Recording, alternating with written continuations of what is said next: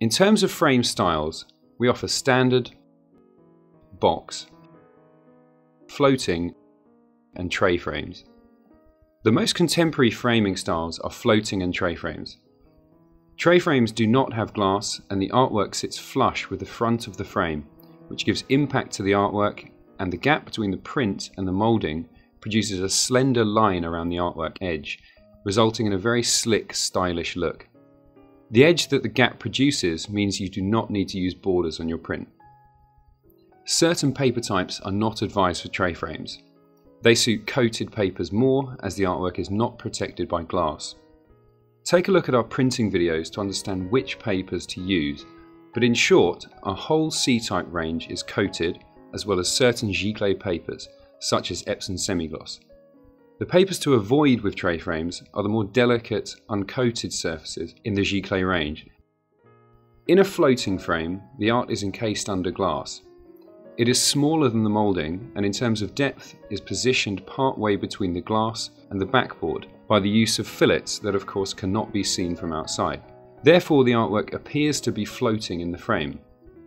As the artwork is protected by glass, you can select this frame for any of our paper options. On a floating frame, we do not advise using a border on your image, as there is a border anyway as a result of the white backing that can be seen behind the floating artwork. Standard and box frame styles are more traditional looking frames. On a box frame, the artwork is set right back in the frame towards the backboard, creating a case effect. This compares to a standard frame, which largely uses the same depth mouldings as a box frame, but where the artwork is closer to the front of the glass. In both standard and box frames, we use a fillet to space the artwork from the glass, and the bigger the fillet, the further the artwork sits back in the frame. Standard frames have a 6mm fillet, whereas box frames have a 12, 18 or 25mm fillet depending on the depth of the moulding, which in turn depends on the size of the artwork. For bigger artworks, we use deeper mouldings because they require more strength. Artworks above 40 by 40 inches require a subframe for strength and rigidity. Wherever additional features are required for larger frames, such as Dibond mounting or subframes, this is all included in the retail price. In terms of aesthetics, as said, box frames create the appearance of a case for the artwork making it more of an object in itself, whereas standard frames are classic and more traditional looking.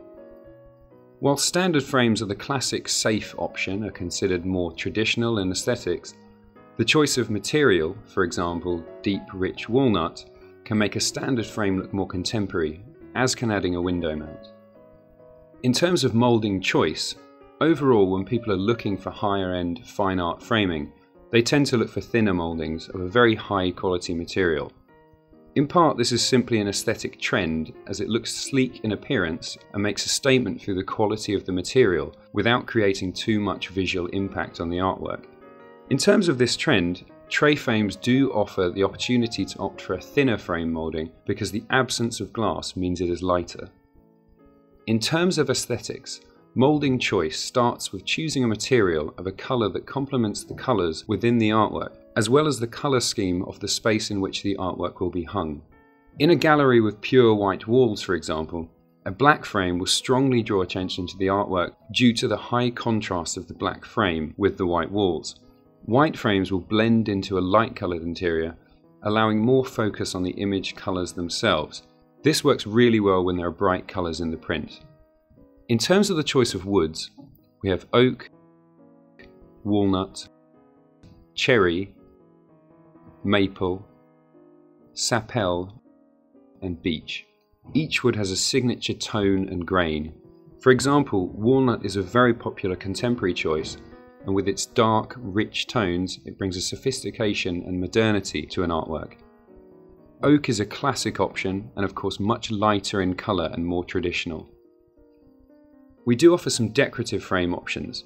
We have gold, silver and ornate gold also.